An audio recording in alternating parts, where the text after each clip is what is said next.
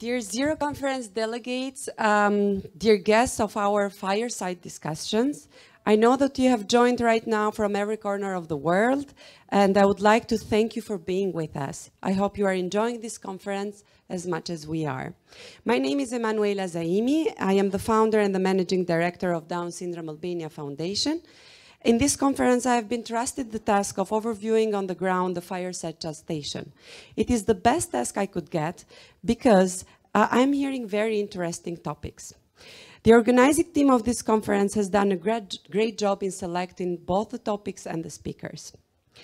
Um, I have now the pleasure to invite um, and to have the discussion on a very interesting, uh, interesting topic, Mr. Uh, Dr. Anthony Giannoumis. Um, welcome. Thank you so much. It's an absolute pleasure to be here, and I'm just completely honored to have a chance to talk about this a little bit controversial, but really, really, really critical, important uh, topic for moving the agenda forward when it comes to human rights and certainly with disability rights. Yeah, so we will be talking about decentering power and privilege. And uh, Dr. Giannoumis, you are a social entrepreneur, an advocate, a researcher, an associate professor of universal design of ICT at the Department of Computer Science at, Science at, in, at Oslo Metropolitan University. Um, what do you love doing most among all what you do? I think the entrepreneurship work has really enabled me to give, uh, to recenter a lot of the discussions around important issues to focus more on marginalized communities.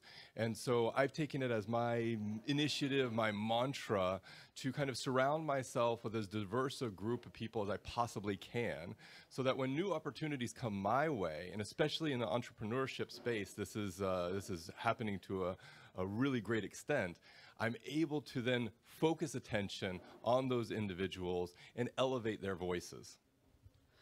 Well, thank you. That's quite an important focus for us as well. So, um, but what do you see as a, as a challenge while you're trying to um, decentering at work and, and all of the, um, within the marginalized uh, groups? Yeah, I think this issue of trust comes to play a lot. So when I'm in a position where an opportunity comes my way and I have to say no or not yet, and I want to give that opportunity to someone else who may have um, some disadvantages in their life. They may have uh, some kind of uh, characteristics or experiences that may put them uh, in, a, in a different light than someone like me who comes into that opportunity with a lot of privilege and a lot of power. There's a trust issue that comes to play when I'm recommending that individual for that position, recommending them for that opportunity, and the person who is, uh, or the organization who's trying to give me that opportunity looks at me with a little bit of skepticism, mm-hmm. and I have to kind of make the case that yes, this person may be young, yes, this person may have a very different experience than I do, but that means that their contribution is even more critical and more important than having my voice on a board of directors or in some kind of power position. Um, but what about what sh shall we do to increase more awareness on, on, on this topic? May it be at uh, uh, corporate levels, but also on um, self-awareness of these individuals?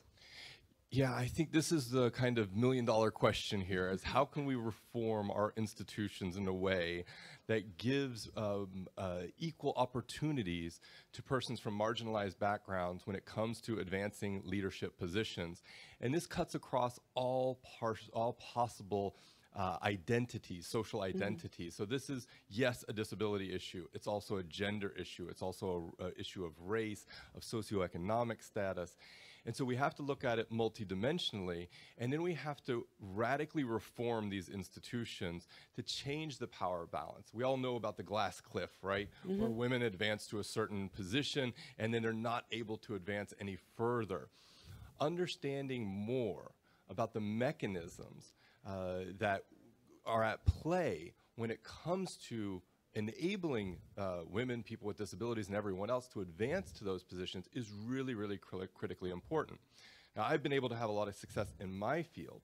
One of the ways that I've challenged that status quo has been to purposefully identify, mentor, work with, collaborate with people who have a radically different experience than I do.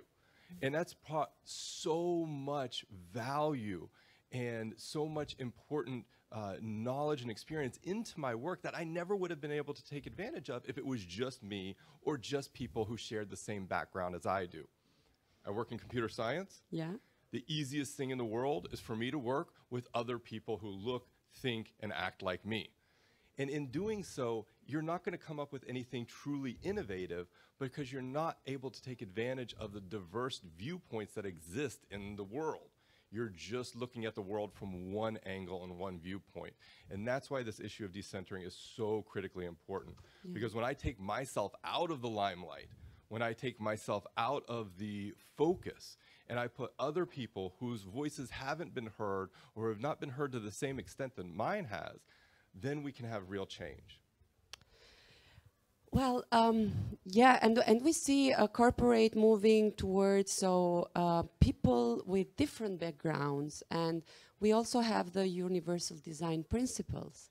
How do we connect all these um, together? So, what would be um, your key recommendations to, um, let's say, those uh, corporate leaders or managers that are hearing us now? Great. So, uh, universal design is my absolute favorite topic. This is something that I have the deepest passion for. It's the what I've dedicated my life to.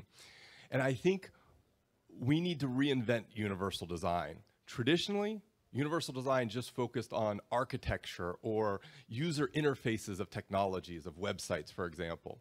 We need to think completely differently because we can universally design a corporation. Mm-hmm. We can universally design our policies, our systems, our programs, our products. It's not just about the built environment, it's not just about the user interface of a piece of technology. And when we start universally designing a company, a business model, you'll immediately see how we can pivot from looking at the commercial space as being uh, exclusive and focused on taking advantage of commercial opportunities and start looking at the commercial space as an arena for achieving equality, for promoting diversity, and one of the most important aspects of universal design that challenges the status quo is the participatory element. Mm -hmm. So bringing marginalized communities into into leadership and power positions within an organization to reinvent, redesign that company and the company's products and services? It seems like we need to universally design our mindsets as a as as a whole. It's about um, yeah, it's about thinking from the start and having everybody on board when we when we design everything. And we have also learned that um, because we are at a disability uh, advocacy and conference and where we share a lot of innovation. Um, but I think, and I want to see if you agree, is that um, we ask for accessibility and inclusion because this is what we talk in our everyday life. But I think we should um, agree and uh, increase awareness also that this is beneficial for, for everybody. I mean, this is, it's maybe it starts because of this community's needs, but then we have seen many times, like in this pandemic, uh, with the ICT solutions and with the, with the need to connect virtually, that um, many of the technologies, as it was said here, many of the technologies started because of the needs of uh, the community of disabled people. Mm are benefiting the, the whole um, society. Absolutely. One of my favorite ways of thinking about universal design is necessary for some, good for everyone. And one of my students once uh, quoted to me, and I've used this ever since she said it because I think it's just an inspired way of thinking about it. Uh, we work a lot with what's called user-centered design. Mm-hmm. And all that means is basically stop thinking about technology or our systems or products with like this siloed mindset where we're just, you know, kind of hacking away in, the, in, a, in a cubicle and then releasing it to the public, but actually bringing users into that process. Well, she said that user-centered design is only as good as the user that you put at the center of that design. And so I'll expand on that. If I put myself into the center of that design, all we're going to get is more products and services that work for people like yes, me. If we put someone who is at the uh, at the most marginalized end of society, the most excluded, into the center of that design process, you're going to find that those products, those services, your company, your business model will start working and start being able to be marketed towards the greatest number of people. But also not uh, not only putting in the center, but also co-designing together with the user, right? Absolutely. We'll go back to the participation thing. Yeah. Co designing and giving space so that they can lead the process, giving up control, giving up power, and decentering the people who have always traditionally occupied positions of power so that those individuals who have not enjoyed those same privileges and opportunities can be centered and take it forward.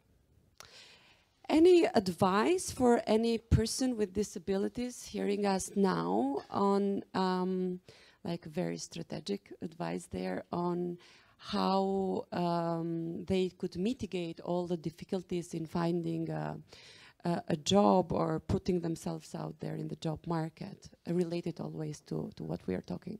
I think uh, there's two things that come to mind. Number one, there's power in numbers. So align yourself with your local disabled people's organization, your local disability rights organization, so that you can have the opportunity to work with them to champion the issues that matter. I think that kind of uh, opportunity can really change the game. Uh, and the other thing that I would say is uh, the, the work that we're doing here requires a lot of patience and discipline and persistence. And so be kind to yourself, be patient and understanding. This is not something that we're going to necessarily achieve in my lifetime or even in three generations from now. It's slow progress, but it's a very, very important progress that we're making. Uh, I like to tell my students that 250 million years ago, dinosaurs roamed the earth. a few hundred years ago, we got human rights. So we've made some progress. And that's not to say that we shouldn't be challenging the status quo. It's only saying that we should be patient with ourselves. Thank you very much. I um, really appreciate what you're doing, and because you're having so um, great focus not only on inclusion mm, for people with disabilities, but I know that you are also focused on um, uh, women leaders uh, um, and gender-based issues. We have uh, our friend Petra here that Beautiful. has been trying and I think not only trying but done a great job and she will explain how she was able to put in this sketch the whole of our discussion. I love it. Thank you. Decentering power was the topic, and um, I drew power as a crown that you have on your head, and the symbol would be to take the crown and hand it over to other people. That's the sketch I came up with. Um, how do we do that? We um, elevate the voices of the people. Um, we give opportunities to people who did not have opportunities so far. So we spread out opportunities. Um, of course, we also foster innovation in all types, also in the technological part, of course, but also social innovation. And the basis is um, the people who are experts in their own lives. So they bring their life experience, and I drew some gemstones here. So they bring like their values into things like things like what we're talking about, universal design, meaning not only is a building accessible for everyone, but really taking the whole universe in, into, into your head, center the design process around the people, co-design and make sure people can participate, and trust the process. Um, don't, uh, don't be scared and be patient. That would be the last point. I hope I got it right. It's absolutely brilliant. I, I, I, I think I need you to come in and do a guest lecture for my students because you nailed it. That's a really good opportunity and a very kind offer. Thank you very much, Petra. I think we will do a picture, a group picture together to Yes, have that as a beautiful memory. Um, Dr. Anthony Giannoumis, thank you very much for joining uh, and hope to see you every time in the Zero conferences. It was absolute honor. Thank you.